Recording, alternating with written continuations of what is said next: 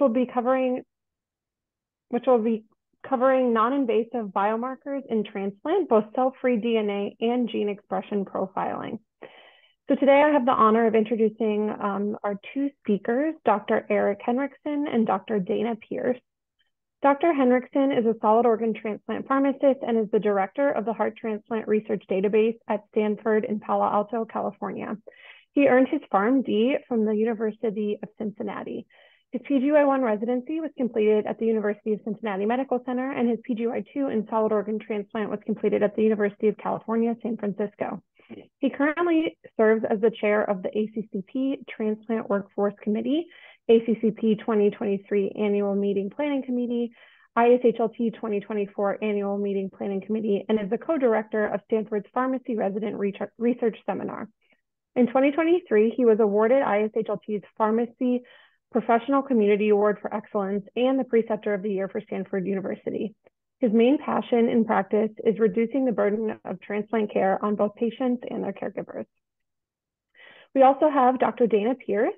Dr. Pierce is a clinical abdominal transplant pharmacist at the University of Illinois Chicago. She completed her pharmacy school, PGY1 pharmacy practice residency, and PGY2 solid organ transplant residency at UIC College of Pharmacy. She's passionate about clinical transplant research and precepting learners, and she's excited to be discussing non-invasive biomarkers with you all today. And then before we start, again, here is um, our, our um, accreditation statements for CE, which we'll cover again at the end. And with that, we will go ahead and give slide control to Dr. Henriksen, and he can take it away. Thank you for the introduction and thank you to ACCP for allowing me to present today. I'm excited to discuss, oh, sorry, I think I requested. Maybe.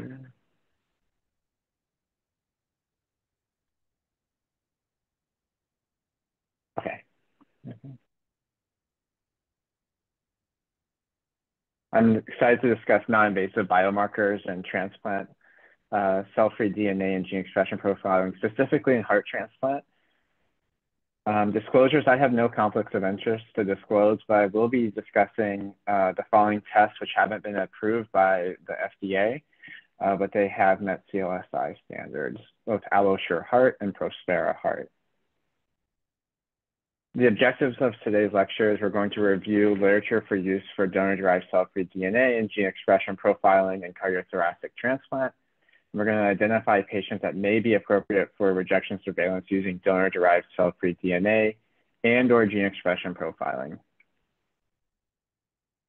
So what are the advantages of molecular testing? For years, the gold standard for diagnosis of rejection has been endomyocardial biopsy. However, recently that paradigm has begun to shift in, with the introduction of uh, molecular testing.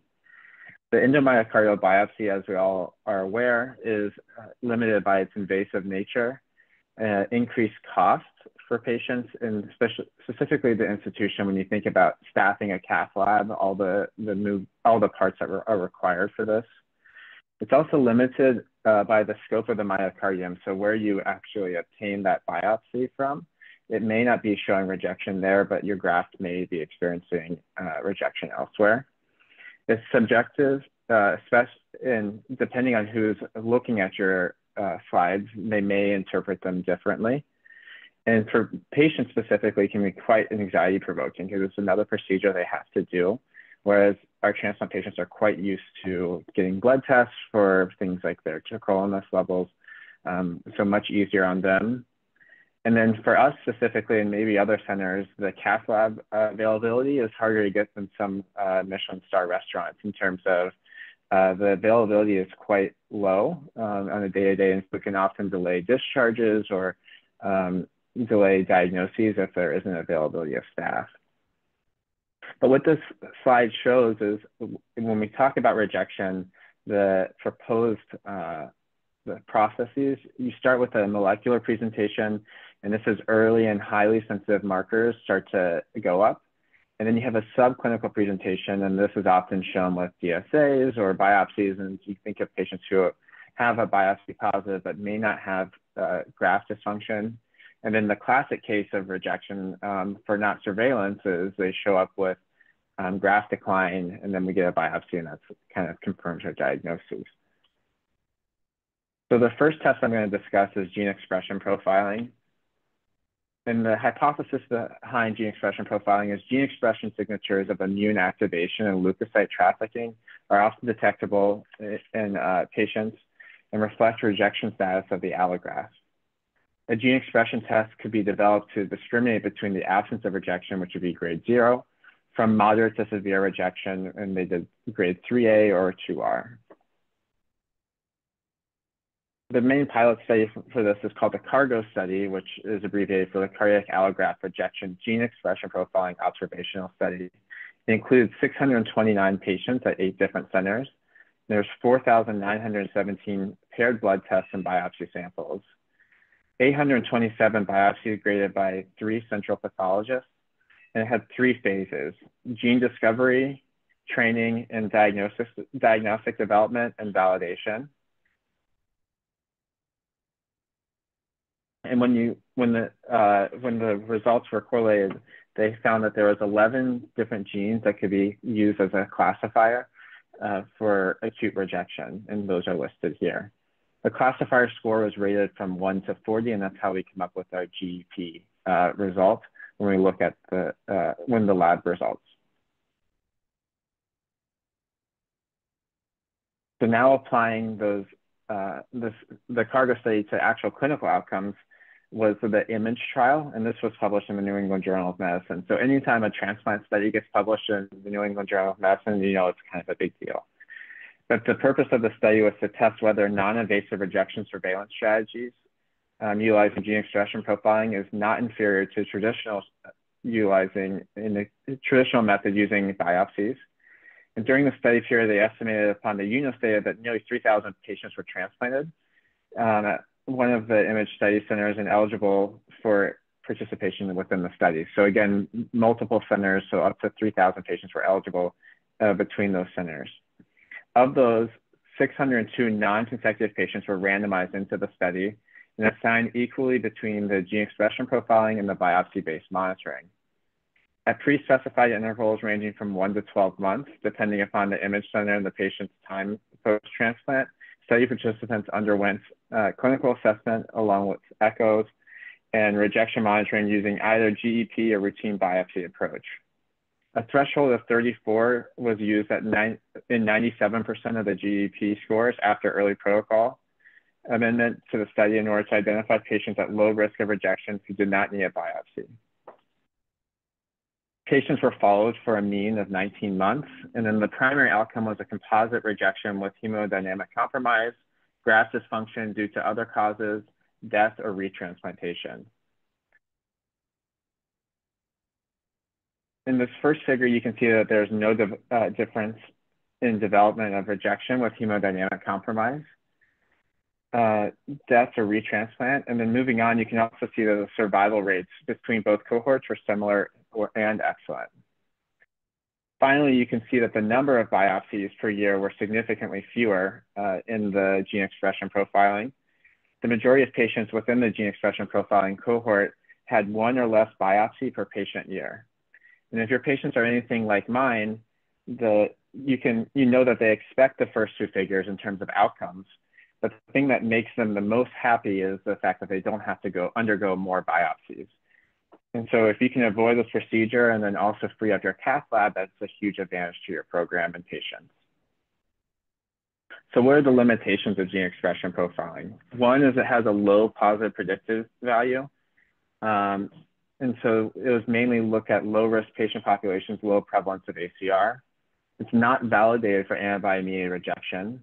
And it's affected by other things that may influence your immune response. So if, uh, patients who had CMV viremia, if you're on high dose steroids, it affects the, the test. So it's not recommended if you're on 20 milligrams a day or greater. And then the recent blood transfusions, as well as giving patient growth factor. Moving on to donor-derived cell-free DNA. So the, um, the presence of extracellular nucleic acid in the blood test was first described by Mandel in 1948. In 1966, DNA was identified in plasma of patients with lupus um, and they thought it was due to tissue breakdown. Cancer patients were then shown to have higher serum DNA levels than healthy controls, again, kind of furthering this hypothesis. And 20 years later, uh, there was growing widespread interest in cell-free DNA research with the discovery of free fetal DNA in maternal blood. In 2020, a Stanford bioengineer, uh, Dr. Quake, uh, was able to perform a clinical application of cell-free DNA analysis for detection of fetal chromosome abnormalities. And then where this leads us now is actually Dr. Valantine, one of our cardiologists at Stanford, attended a lecture discussing this new application. This led to a meeting over coffee to discuss the application of cell-free DNA in what she perceived as a, a, potential population of heart transplant recipients. I wish I could say my coffee breaks have led to such uh, meaningful impact, but I guess I haven't had enough coffees yet. But the principle of this donor-derived cell-free DNA is that rejection causes damage to the affected organ. There's a certain level of donor-derived cell-free DNA circulating in all organ transplant recipients, is when the levels begin to shift up that there's a sign of organ damage, which is most cases is, is likely from rejection. So the, again, proof of concept study is this uh, NIH grant study. It was the first prospective study of 161 heart transplant recipients. They collected serial blood samples, purified and sequences, sequenced cell-free DNA and plasma and compared them against biopsy grades. In figure A, you can see the fraction of donor-derived cell-free DNA of over time from transplant from nine rejection-free uh, recipients. The solid line is a fit to the exponential decay. In figures B through D, you can see three different cases of rejection. The red solid lines again are present. So in figure B was an adult recipient with ACR episode about month 15. And here you can begin to see that the levels begin to spike much earlier. Figure C has an adult recipient who suffered from ACR at month nine and subsequently required a new transplant at month 10. And so you can again see those curves begin to change. And then the final one is a pediatric heart transplant recipient who suffered from consecutive ACRs at month four and 12. And you can see, again, the levels beginning to go back down, but rise again once uh, the patient was experiencing their second rejection episode. Figure D is also important because of the use of donor-derived cell-free DNA also corresponds with antibody-mediated rejection, which was not necessarily the case for the gene expression profiling. So when we look at the ability to detect rejection, um, the, the, this figure shows that there's a statistically significant increase in donor-derived cell-free DNA at the time of rejection. Additionally, and more arguably interesting, are the elevated levels as early as five months prior to biopsy-proven rejection. And again, these figures uh, kind of go along with I, what I mentioned early on in the slide, that we have these levels that begin to show early in the first stage, and then it goes on to show later on our the subclinical presentation of biopsies or DSAs. So if we can intervene earlier, then we have the potential to save more graft function. The findings of the, the data for donor-derived cell-free DNA have been validated in a couple other studies and reproduced, one, one by Dr. Khush and colleagues in JHLT in 2017, as well as another consortium called the GRAFT cohort, which was published by Sean Agbor-Enoh, Shah, and Dr. Valantine in Circulation in 2021. I didn't include them here for the sake of time. So again, taking that science and applying it clinically, we use the DOR or the donor-derived cell-free DNA outcomes AlloMap registry. It's a registry of 26 different transplant centers across the US. The purpose of this registry was to determine the test performance of donor-derived cell-free DNA for the detection of ACR, AMR, as well as graft dysfunction. In the first figure here, you can see that the elevated donor-derived cell-free DNA is associated with both ACR and or antibody-mediated rejection. And the median level for those was 0.17. Moving on to clinically significant uh, ACR defined as 2R or greater by ISHLT standards, again, donor-derived cell-free DNA levels are correlated with this outcome. However, the data weren't able to detect correlation between elevated donor-derived cell-free DNAs and AMR. However, when combining uh, AMR 1 and 2, um, so again, maybe we can't pull from this data for, for that diagnosis. So additional findings from the DIOR registry, the authors were able to show that elevated donor-derived cell-free DNA was associated with graft dysfunction. They define graft dysfunction as LVEF of less than 35%, use of inotropic support, or hospitalization from graft dysfunction. When looking at the test performance, you can see that it's 44% sensitivity to detect rejection, which is not great. However, it did have a 97% predictive value. Given a negative test has a strong correlation with negative biopsies, the opportunity to save patients from many surveillance biopsies. The next study is uh, uh from a separate assay of donor-derived cell-free DNA. It's called the DEDUCE study. Um, and this one does not require genotyping of either the donor or the recipient. The DEDUCE study comes from 811 samples from 223 patients at the University of Utah, as well as the University of California, San Diego. Here you can see levels remain consistent until greater than 24 months post-transplant, where levels remain, uh, where levels are significantly higher later on. The authors found that patients at, uh, with cardiac allograft vasculopathy were more likely to have elevated levels at 24 months. And that may be why you see these results. The authors also suggest that this may be secondary to increased white blood cell fragility, secondary to prolonged tacrolimus uh, exposure. Here you can see that this assay has similar findings in the ability to detect rejection as a prior donor-derived cell-free DNA test. In addition to having significant, statistically significant difference between rejection episodes and elevated uh, levels, the authors have also found that clinical outcomes were similar. when the ROC analysis results of uh, discrimination of acute rejection from non-acute rejection by donor-derived cell-free DNA testing was based off of bootstrapping performance estimates, and they're shown in the figures to the left. The AC ROC was 0.86. On the right, you can see that the negative predictive value is similar to previously reported data for other donor-derived cell-free DNA studies. So when we talk about combining the tests, is two tests better than one? How do I choose which one to use for my patient? And so this actually comes from a, a wonderful review article in case you wanted someone who can speak a little bit more eloquently on this. Uh, this is from uh, JACC, heart failure. And here you can see, based on the DIOR studies, uh, how you interpret the results. So if someone has a normal um, donor-derived cell-free DNA and gene expression profiling, then their likely of rejection is quite low if they have high gene expression profiling, but they donor-derived cell-free DNA, um, you may need to consider this from other sources. So do they have CMV? Um, are they on high doses of steroids recently? Uh, do they get a blood transfusion? If you have high donor-derived cell-free DNA and gene expression profiling, uh, the consideration should be for all types of uh, graft injury, including AMR, CAV, or trauma. If both are high, it's strong likelihood of rejection, and you'll confirm with a biopsy.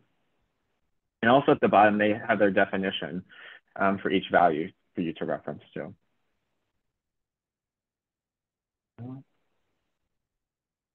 So now applying the combination of these in a minimal biopsy protocol. And this is data that we published from Stanford and looks at the first year survival from acute rejection as well as freedom from DSAs. And here at Stanford, what we do is for our just our heart alone transplants, they'll get two biopsies, typically at week two and week three after transplant. And then unless for cause, we will just use non-invasive monitoring um, from then on.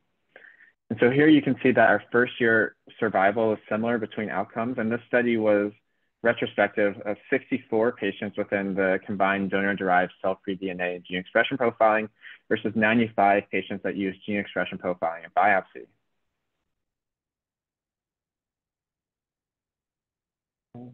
Sorry, I'm having a little bit issues advancing sometimes. Um, so when we actually apply the same outcomes, but is it better for our patients? And here again, you can see that patients in the non-invasive monitoring had significantly fewer biopsies compared to their gene expression profiling and biopsy cohort. In fact, if we start to apply this to our more recent cohort, the number of biopsy also decreases. Some of these donor-derived cell-free gene expression profiling combos had higher numbers of biopsies because we weren't able to do these tests as an inpatient. But now that we have that access, we have actually gone down in our total number of biopsies. When we look at uh, EF measurements at three, six, and 12 months post-transplant, they were also similar between the cohorts.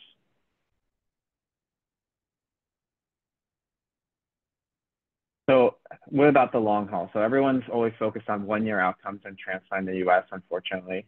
But is this better for our patients going forward for a long period of time? And this is data I, I presented at ISHLT last year. And here you can see that our survival by cohort actually are donor-derived cell-free DNA and gene expression, they were similar, even up to three years. And then the rate of rejection was lower in the gene expression profiling group compared to or, or the rejection-free survival is lower in the biopsy cohort compared to the donor-derived cell-free DNA. Again, when we look at our other clinical outcomes, they were similar between for EF in, the, in those early stages after transplant.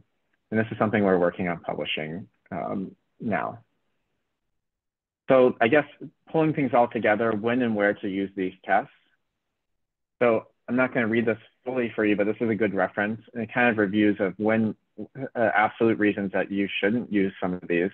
So um, the gene expression profiling, again, is highly impacted by um, anything that basically uh, increases your, your immune response. So a lot of infections, specifically viral infections, as well as uh, any inflamed state, as well as some other cutoffs. And then uh, for the donor-derived cell-free DNA, I think the big thing is uh, any source of myocardial trauma recently, specifically uh, biopsy. So if you had to choose the path, you should always start with the donor-derived cell-free DNA and then the biopsy after, unless you're willing to wait a few days after this. So when can I test? The gene expression profiling has been approved at 55 days post-transplant, assuming that that prednisone dose is less than, than stated here. And then the donor-derived cell-free DNA stability was demonstrated around 14 days in the DOR and graft studies. Some centers are beginning to use as early as three to four weeks. Um, I am, I'm not sure it's advisable to go much earlier before than, than probably three weeks based off the data that we have. So what did I cover today? Um, so this has begun to spread to the lungs as well. I didn't have enough time to go into that data as well as there's now some applications being used for non-invasive monitoring in other disease states for solid organ transplants, including uh, detection of infections. And then uh, there's a new tool um, called the molecular microscope, which again, I didn't have enough time to cover in my lecture today. So in summary, the use of non-invasive monitoring for rejection surveillance has strong negative predictive value. It has similar clinical outcomes and can be obtained with non-invasive surveillance compared to protocol using endomyocardial biopsies. Both donor-derived cell-free DNA and gene expression profiling tests have instances for which they should be used with caution. Providers should familiarize those cells with those scenarios. And for my acknowledgements, I'd like to thank Dr. Kiran Khush, Dr. Jeff Teuteberg, uh, Dr. Yas Moayedi. Dr. Kiran Khush and Dr. Jeff, Jeff are outstanding speakers um, on this topic. And if you ever have the opportunity, um, I'd highly recommend it uh, Dr. Yas Moayedi uh, and Dr. and then Helen Lukert, who's one of our um, nurses. I'm sorry, she's not at University of Toronto, she's at Stanford. Um, they've been integral in our Stanford Heart Transplant database. And of course, I'd like to thank my colleagues I work with, Roy Lee, Rita Mai, Chu and Eureka Wang, uh, who are outstanding pharmacists um, that I work, get to work with every day at Stanford. Thank you, and I look forward to your questions in the future.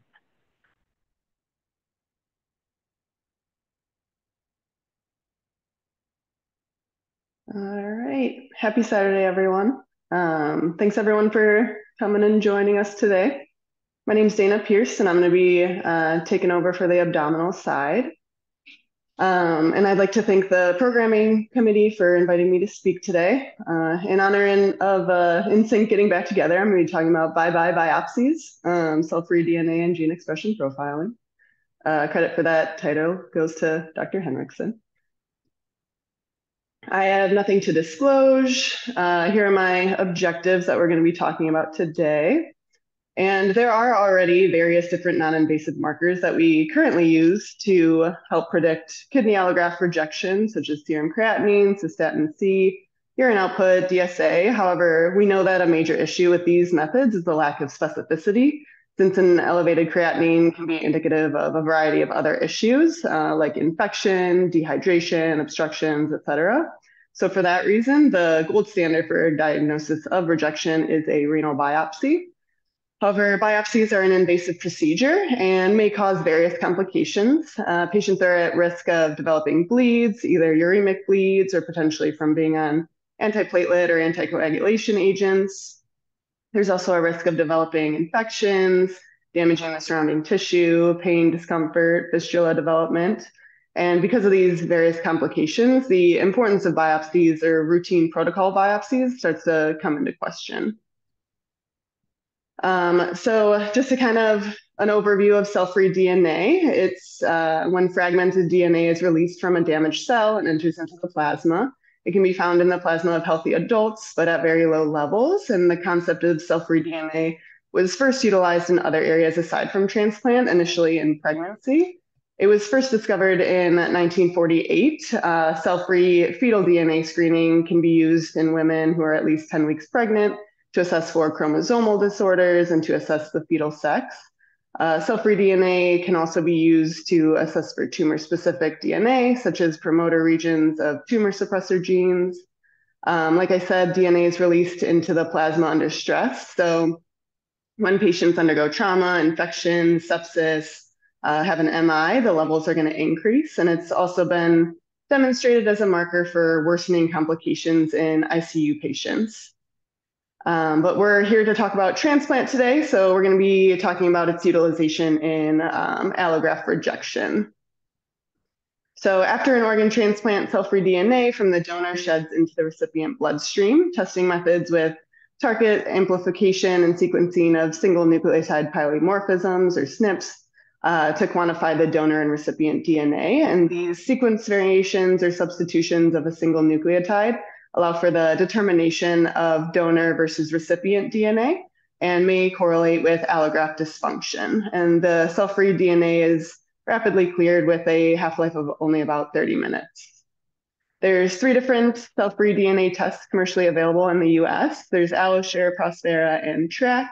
So first we're going to be talking about AlloSure. It was validated in the DART study published in 2017, which was a prospective observational study throughout 14 different study sites, and all patients were enrolled at least one month post-transplant. The primary outcome was biopsy-proven rejection based on the Banff 2013 criteria. Donor-derived cell-free DNA was measured at months 1, 2, 3, 4, 6, 9, and 12, or at the time of clinically indicated biopsies. There were 219 patients that had at least one renal biopsy. 242 biopsies had sufficient uh, specimens and uh, were reported the results. 84% of the biopsies were performed for clinical suspicion of rejection, so the vast majority. 14% uh, were for surveillance, and 1.7% were for follow up of treated rejections. And only 3% of surveillance biopsies revealed rejection, so a very low rate of rejection uh, than in general. The patients included in the study were typically Caucasian or African American, predominantly male patients. Patients were significantly younger age in the active rejection group, which is kind of what we would expect. The average time post transplant of patients enrolled was about two to three years post transplant. And there were significantly more deceased donors in the active rejection group. The average weight was about 85 kilos, and average GFR was about 34. So this slide demonstrates the positive predictive value and negative predictive value. The graph on the left represents the PPV and NPV for acute rejection. And when utilizing a cutoff of 1%, the negative predictive value is 84% and the positive predictive value is 60.6%. The graph on the right represents the uh, positive and negative predictive values for antibody mediated rejection specifically. And when utilizing a cutoff of 1% for AMR, there's a better NPV of 96.4%, but a worse um, positive predictive value of 44.4%. So it's better at ruling out AMR, um, but a little bit worse at ruling in AMR. The authors demonstrated that the donor-derived cell-free DNA discriminates active reje rejection. Um, the figure on the left demonstrates that the median donor-derived cell-free DNA in the active rejection group was 1.6% versus 0.3% for no rejection, which was statistically significant. And then the figure on the right demonstrates the serum creatinine in uh, active rejection versus no active rejection. And they uh, found that the serum creatinine was not significantly different in uh, median values between the two groups. So therefore, the donor-derived cell-free DNA was found to discriminate active rejection, um, while the serum creatinine did not, suggesting that it might be a little bit more specific of a marker than serum creatinine alone. These figures represent the cell-free DNA broken down by rejection type. The figure on the left has donor-derived cell-free DNA on the y-axis and then the rejection type on the x-axis.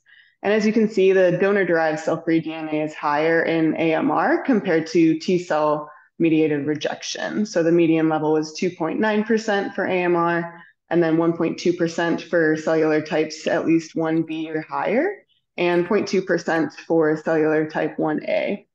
The graph on the right um, demonstrates that the donor-derived cell-free DNA is typically not elevated in low-grade uh, 1A cellular rejection, but increases as cellular rejection increases to 1B or higher. So this kind of reiterates that it's likely a better marker for AMR as compared to for ACR.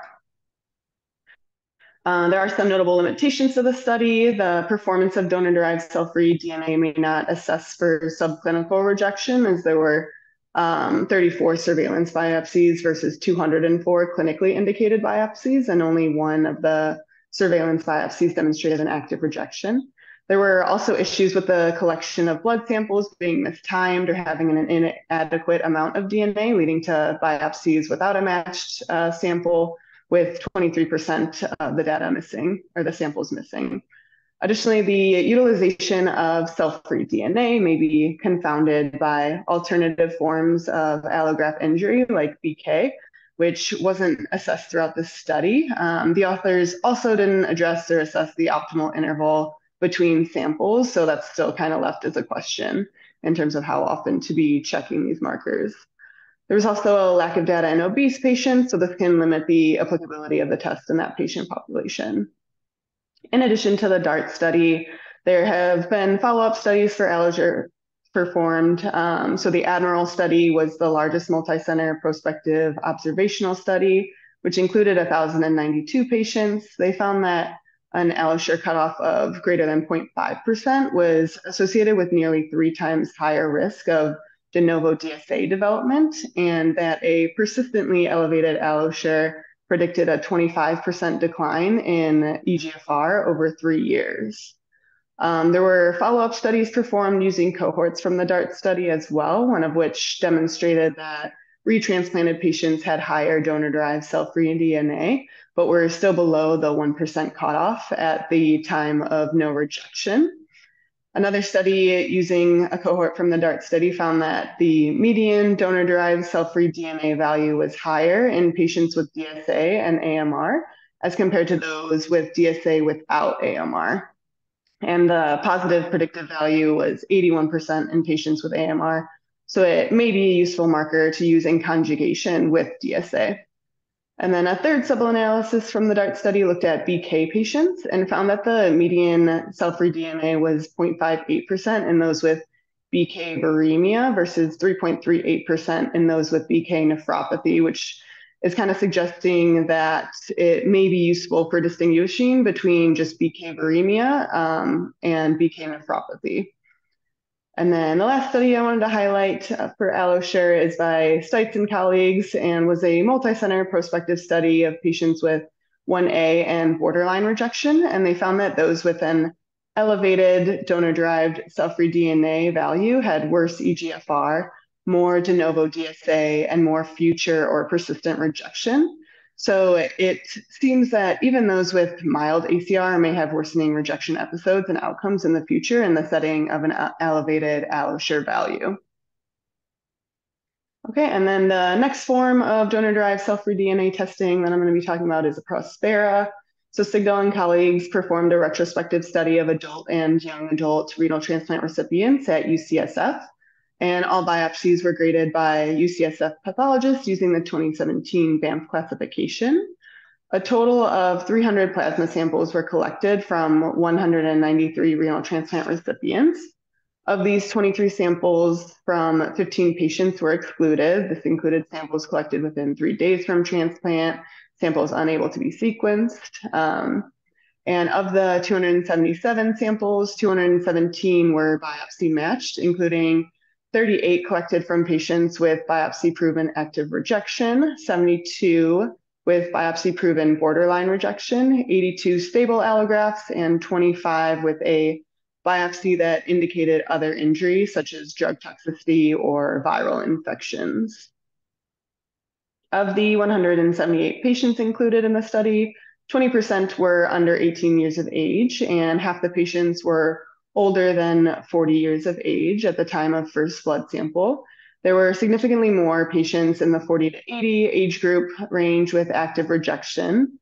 The patient population was relatively diverse between Hispanic, Caucasian, and African American patients. The average weight of the patients was between 70 and 80 kilos. And there were also statistically more deceased donor transplants in the active rejection group of 92.1%. So the figure on the left represents the donor-derived cell-free DNA on the y-axis and then the rejection status on the x-axis. And the donor-derived cell-free DNA was significantly higher in the circulating plasma of the active rejection group compared with the non-rejection group, with a median of 2.32% versus 0.47% respectively, which was statistically significantly different and then the figure on the right represents EGFR on the y-axis. Um, and EGFR is significantly better in patients with stable renal function, but demonstrates no difference between active rejection, borderline, or other injury. Therefore, um, this kind of demonstrates that the donor-derived cell-free DNA can discriminate between active rejection compared to a borderline injury or other injury or stable allograft function while the EGFR only um, discriminates between stable renal function and any form of renal injury. And then this slide contains the graphs demonstrating the sensitivity and specificity of the donor-derived cell-free DNA levels and the EGFR, and they found that the donor-derived cell-free DNA um, demonstrated greater sensitivity and specificity as compared to EGFR alone. A few limitations of the study are that it was retrospective, single center, allowing for bias. It included adult and pediatric recipients, which may have varying results if separated out. And while it's good that the study included other forms of allograft injury, it was only able to assess for those seen um, upon biopsy screening.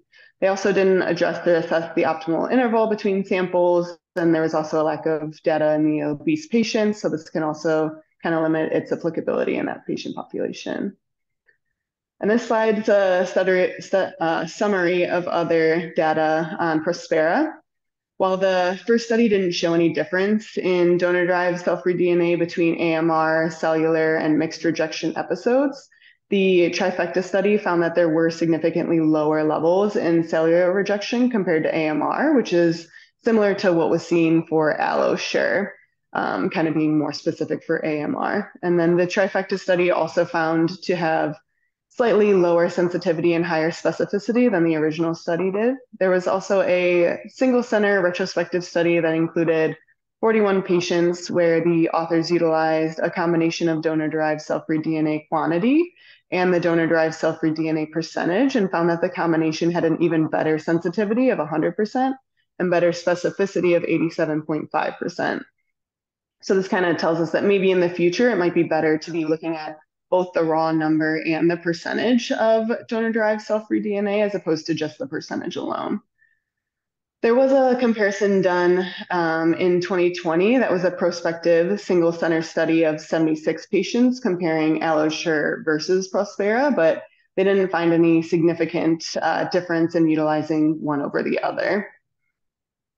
And then the third um, testing method is TRAC. There aren't any published validation studies in abdominal transplant recipients, um, but they do have a separate cutoff than the other two of greater than 0.969% value being indicative of rejection and has a positive predictive value of 55% and negative predictive value of 86%. And then this chart just kind of compares the three different testing methods. Um, they all use the same technology of next generation sequencing. AlloSure and Prospera have a turnaround time of about five days, with TRAC having a turnaround time of about um, or three days, and then TRAC having about five day turnaround time. And then AlloSure and Prospera have a rejection threshold of greater than 1% as the cutoff, um, compared to the TRAC has the different cutoff. And they all have a relatively strong negative predictive value and a weak or moderate positive predictive value. And then I also have the SNPs listed here, but while theoretically more SNPs may be more specific to test for rejection, the different tests demonstrated similar predictive values. Um, so it's not too uh, different amongst the different testing. And all the testing methods are covered by Medicare insurance, but there was a recent billing article that arose a few months ago. So prior to this, Medicare was covering all testing methods at any time point without regulation. But now there are some limitations to what they will cover. So only one test is covered by insurance per encounter.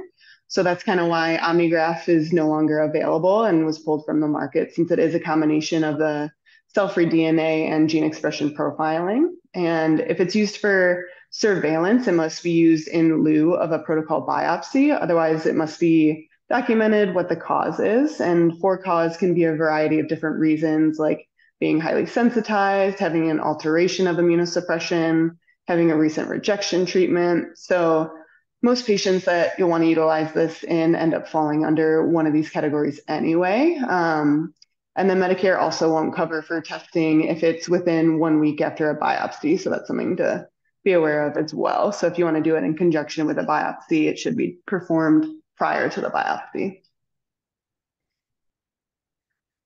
There are several limitations to utilizing donor-derived cell-free DNA testing. Um, they should not be performed within 24 hours of a biopsy or dialysis, as this could affect the result. Um, there's also a lack of data assessing rejection versus other forms of allograft injury. Um, there were some looking at BK, but they're very small studies. And then they are also susceptible to false positive and false negative results. Um, these are some potential causes of false positive or negative testing, um, kind of going back to where else this is utilized. Um, so obese patients, pregnant patients, septic, have cancer, an MI, or recent trauma can potentially have falsely uh, elevated or lower levels. And while donor-derived cell-free DNA is useful in patients with unstable allograft function, they don't typically aid in detection of subclinical acute rejection, which is where gene expression profiling comes in. It measures the mRNA expression profile in transplant recipients, and when the uh, mononuclear cells lysed um, and mRNA is isolated, allowing for real-time PCR quanti uh, quantify gene expression. And the two different tests are TruGraf and AlloMap. Um, AlloMap kidney is still in the works, um, so it's only currently validated, validated in heart transplant. So I'm just going to be focusing on TruGraf, which was validated in a study by Friedewald and colleagues in 2019. This was a 24-month observational study of 307 adult renal transplant recipients at Northwestern. And patients were excluded if they had an en bloc um, allograft or if the patients had HIV or hepatitis C. Surveillance biopsies were obtained at two to six months, 12 months, and 24 months post transplant. And the clinical phenotypes were subdivided as um, sub AR or TX. Patients had sub AR if, histolo- um, if histology on a surveillance biopsy was consistent with acute rejection, and there was stable allograft function defined as a serum creatinine of less than 2.3 and a less than 20% increase in creatinine compared with prior values. And those patients who did not meet the sub AR criteria were classified as TX or transplant excellence. Of the 307 subjects, um, 20, 283 um, had sufficient data with at least one centrally read biopsy, and of those, 243 had sufficient um, data to define the clinical phenotype of either sub-AR or TX at 12 months, and 35 of which were sub-AR, 162 were TX, and 46 were mixed. The demographics are listed here. The mean donor age was about 40 years old, mean recipient age about 50 years old. Patients were predominantly Caucasian, with about a fifth um, of patients being African American. And for the results, this figure represents the clinical ph phenotype. The x-axis represents outcomes of the composite clinical outcome, which is defined as 24-month biopsy showing evidence of IFTA or BPAR on any for cause biopsy, or a decrease in GFR by greater than 10 between 4 and 24 months post-transplant. And of the 253 subjects with stable renal function who underwent at least one surveillance biopsy, 13% demonstrated only sub-AR and uh, or not, not TX. 57.7% demonstrated only TX, and 29.2% demonstrated individual instances of either TX or sub-AR. The composite clinical outcome of BPAR were significantly different between the TX and sub-AR uh, phenotypes. The authors also assessed de novo DSA. The top graph represents results after one year, and the bottom represents results after two years. And as you can see, the patients with TX phenotypes demonstrated significantly less de novo DSA at one and two years compared to those with the sub-AR phenotype. Some notable limitations of the study include the observational nature. Additionally, the positive threshold was arbitrarily selected, which may affect the predictive performance. However, the threshold didn't demonstrate significant difference at the cutoff. The study also excluded en bloc donors and HIV and Hep C recipients, so this can limit the use in those specific patients. Also, they um, did not assess alternative causes of allograft injury aside from rejection like BK nephropathy, but since the patients uh, have stable allograft function, I wouldn't expect this to be a large confounder, confounder um, compared to the prior studies in cell-free DNA. So here's just kind of a summary of what um, of what the different tests are and kind of like when to utilize them, just for your reference. Um, and then what do the guidelines say? So the Banff uh, minimally invasive diagnostics working group does have recommendations on these testing methods. Um, they state that um, it should not be used as a standalone diagnostic test, but could be potentially used in the future to differentiate between AMR and cellular rejection, and potentially as an adjunct to histology, similar to how we utilize DSA um, at current practice. And then this is just an example protocol um, of what we created here at UIC. We utilize gene expression profiling for patients with stable allograft function, while, um, while those with unstable allograft function undergo donor-derived cell-free DNA testing. Um, and we defined stable allograft function based on the TruGraf study that uh, I went over and how they defined it. Um, and since these tests do have poor positive predictive values, we still recommend undergoing a biopsy if the levels are elevated, if it's possible. And then for dual transplants, retransplants, and en bloc transplants, um, Prospera is the only one that is technically validated in those individuals. So that's kind of why it specifies it um, here in our study. However, there are data on utilizing other tests for those patients. So I don't necessarily feel too strongly about this recommendation, um, but just kind of for your reference. So in summary, donor-derived cell-free DNA has been validated to detect um, acute rejection following renal transplantation with a high negative predictive value, and it's more associated with AMR than ACR, and gene expression profiling can be utilized to assess for concerning subclinical acute rejection in lieu of protocol biopsies. And then here are just some supplemental materials and my references, and we'll take any questions anyone has. Great. Thank you so much, both of you, um, for your very helpful talks. Um, I think the questions are probably geared towards both of you. So if you want to take turns answering them. Um, but the first is if you've utilized the same standard two biopsy and AlloSure surveillance model for dual transplant recipients, or if you've had to change your models for uh, dual organ recipients.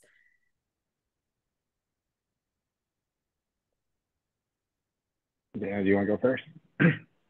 Yeah, so um, I think I kind of mentioned this a little bit. Um, so we'll usually just look at the donor-derived cell-free DNA in our uh, utilizing like Prospera in our dual transplant recipients. Um, we do know that it might be like a little bit higher than uh, the baseline for anyone who's receiving, you know, like a single organ. Um, but that's kind of what we usually utilize at the institution that I'm at. And that's just based on uh, that one being the only one that's uh, actually approved for it. At Stanford, we only will use biopsy method if someone is a multi-organ transplant in our heart transplant cohort, um, because we don't feel comfortable with the being able to interpret the cell-free DNA results based off of that. Great, thank you. Um, and have either of you anecdotally um, noticed an elevated cell-free donor DNA even with a negative biopsy, and then perhaps investigated what other issues may be going on, like an infection or um, other forms of injury? Yeah, I would say this is really common um, from what I see, at least. I think a lot of times we'll see a high level, and a lot of practitioners will kind of start getting really worried and um, unsure. But then when they check the biopsy, the biopsy is negative. Um, so I would say that this is fairly common. I would say almost half the patients I see this happening in. Um, and sometimes, you know, like we do try to rule out other reasons or other um, things that are maybe causing them to be high, but I wouldn't say we always find a reason. I would say sometimes it's kind of uncertain from my experience. I think from our end, when we have elevated levels, we uh, tend to just watch them a little bit closer because we found that that elevated level is often uh, quite prescient, uh, that it's maybe like four or five months down the road that patient ends up developing uh, biopsy uh, proven rejection or a drop in EF. So they'll watch like echoes or things um, clo more closely for those patients until the cell-free DNA goes back down um, for us. Great. And I know that um, these tests are obviously new overall and very nuanced, as you both described, but have either of you looked at changes in immunosuppression, like um, fluctuating TACRO levels, or even changes to an anti-metabolite or steroid dosing, knowing that the last is probably a little bit more nuanced, um, and the impact of that on donor-free, the donor-derived cell-free DNA levels over time? We have not um, looked at that, uh, like in terms of making like a protocol based on that. I think that's the goal. I think for most of these uh, programs, if we can figure out a way. But I think it's going to have to come from you know multi-center studies and things like the DIOR for uh, for the heart transplant side may be able to glean some of that information, but we'll see. Yeah, I think that's hard too because there's so many different things that might be going on. So, like, depending on if someone has like BK and that's the reason why it's elevated, then you would want to kind of minimize the immunosuppression versus, you know, like using them um, in conjunction with DSA can also be helpful. Like, if you have DSA, de novo DSA, and then you also have an elevated cell free DNA level, then that might be a reason to kind of increase your immunosuppression or making sure not to reduce your myfortic or mycophenolate. Um, and potentially keeping them at like a little bit higher tech goals. So I think it's kind of, you know, like these markers aren't really meant to be utilized individually. I think just using it in combination with um, everything else we kind of have, just to kind of give us a little bit more information, since you know serum creatinine um, not going to be the most specific and helpful marker all the time. Absolutely. Thank you both very much for all of your hard work on these talks and sharing your experiences with these new tests. Um, we do have another break. Um, we're a little bit ahead of schedule, so perhaps if we could come back around 10 20, um, 12 20, 1 20, depending on your time zone, um, that would be appreciated. And thank you so much to Dr. Pierce and Dr. Henriksen again. Um, we hope you enjoy the rest of your days, um, and we'll see everyone at in about 10 minutes or so.